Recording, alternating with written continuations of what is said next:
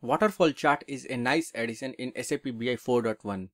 This chart is normally used for understanding how an initial value is affected by a series of intermediate positive and negative values. Like gross revenue here is initial value and rest other groups are negative expenditures. Usually the initial and the final values are represented by whole numbers, while the intermediate values are denoted by floating columns. The columns are color coded for distinguishing between positive and negative values. We have used green for positive numbers and red for negative numbers. Waterfall chart is also called a flying bricks chart or bridge chart because the chart gives an impression of suspended bricks in mid-air.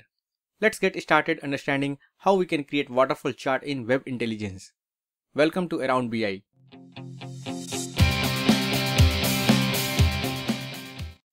A waterfall chart is a form of data visualization that helps in understanding the cumulative effect of sequentially introduced positive and negative values. We have our sample data set that tells revenue values against different categories. Gross revenue is income and rest others are expenditures. If I convert this table to a bar chart, it does not provide an increasing effect of these positive and negative values.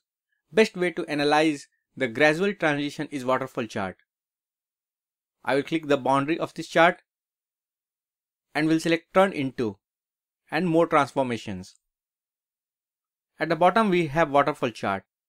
We will select that and we will confirm that category axis is revenue category and value axis 1 is value. That is our dimension and measure objects. If we have more than one dimension or measure, we can see that in this drop down list and that will allow us to change that dimension. We will click OK and our waterfall chart is ready. We can see that our base value is gross revenue and these hanging bars are showing intermediate negative values. To give it a better presentable look, we will change some properties. I will right click on chart border and will click format chart.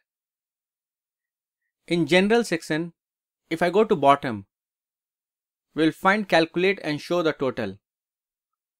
With checking this box, we will add final value that is sum of all revenue categories. Let's check that.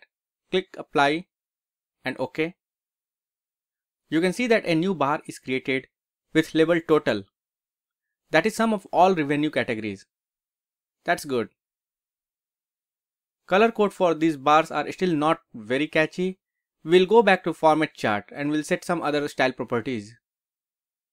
First on data, I always like to see values inside the chart so that when users print it or export to Excel or PDF, they can see values associated with graph. So we will check in data label displaying mode.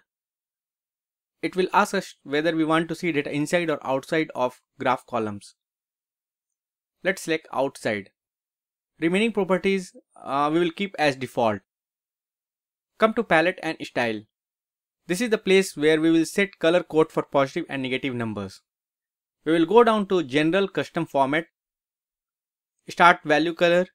We will keep it automatic. Total value color. We will keep it gray. So I will click fixed and from this color drop down we'll select gray 50%. Negative value color will also be fixed and we will keep default red. For positive value color, we will keep fixed and default green color. We will apply these changes and click OK. Chart is looking far better. Sometimes when x-axis groupings are more, we need a reference line that gives an idea about start and end points.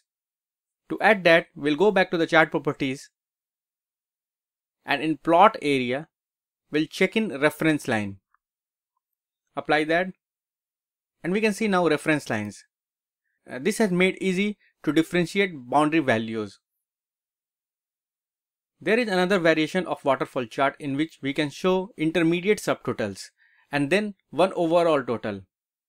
As you can see we have gross revenue and storage cost that forms a subgroup and we have net revenue as subtotal for that group. Developing this variation is not a direct approach in Webi, but requires lot of work around operations. that is out of scope of this tutorial. With this, I will end this tutorial. We have seen how we can create waterfall chart in Web Intelligence. Let us know what is the best user scenario you got to apply it. Please share your valuable comments and feedback. Thanks for watching.